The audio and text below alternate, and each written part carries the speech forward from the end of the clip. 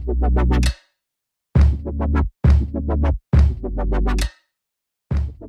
guys, what's up? It's Pink Metalhead here, and today I'm going to be reacting to a band that I've never reacted to before, nor have I heard of any songs from them. From them. I don't think I have, um, but yeah, that band is Megadeth, and we're going to be reacting to their song "Go to Hell." Um, yeah, I have no idea what to expect, um, but I kind of get the feel. I mean, I've heard people talk about Megadeth before, and just by the the their name, I'm going to guess that this is going to be pretty hardcore. But I'm that makes me super excited because I love hardcore. That's right up my alley.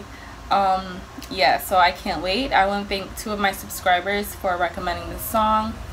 We have Scribble Official and Rich Palumbo. So thank you guys so much for commenting on my videos and for recommending this song and this band.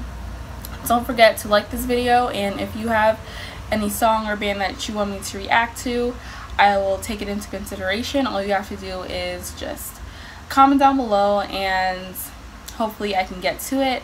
And also don't forget to subscribe for more and I'll see you guys in my next video.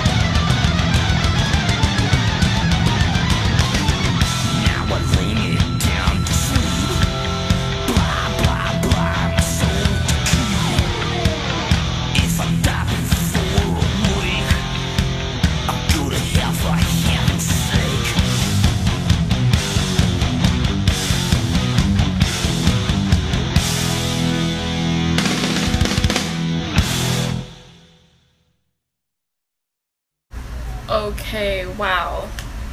Whoa. How do I describe that song? Okay, first of all, I think the way that the song, well, first of all, the instrumentals, the way that the song was layered and the different, it had so many different parts to it and it switched up on you so many times. It was like, whoa, like, I wasn't expecting that. Yeah, and wow.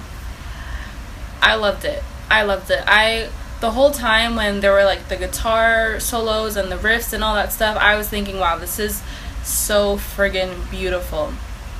And um but you know what's so funny? I love how the beauty of and just like the sickness and like just the the amazingness of the guitars and just the instrumentals in, in general was contrasted with the lead vocalist with his voice. It was it was like kind of grimy um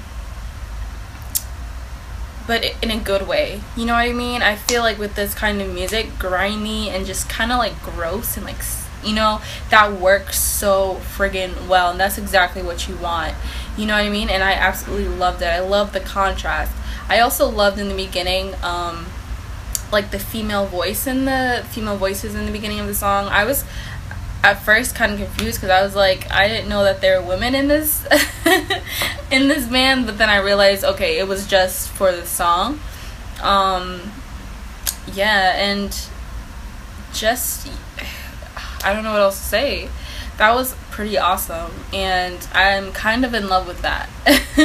I'm kind of in love with that. That's everything that I needed it's definitely different from what I thought it would be, but it's definitely everything that I needed. I'm really into well, you guys can comment down below and tell me what subgenre this is, but and when it comes to this kind of music, I hate guessing the subgenre because people will be like, "Oh no, this isn't this isn't death metal. This is this kind of metal, and this is." And people get so like touchy feely about this, so I don't want to label it at all. You guys can tell me what subgenre this band is in, or whatever, or just consider it metal. That's fine, but I feel like with some bands, um, especially bands where they're either growling or maybe even screaming. I think one of the main issues for me is when there's no how do I say this? The song is kind of all the same. You know what I mean? It's just all all the same. The vocals are all the same. There is there's no layering. It's like no kind of rhythm to it or you know what I mean? I don't know if you guys know what I'm talking about, but this definitely gave me what I needed. It had a breakdown here, a breakdown there. It changed up the, you know, I love that. His vocals changed up. It was beautiful. It was everything that I wanted. So yeah guys, don't forget to like this video, comment down below, and subscribe and I'll see you in my next one.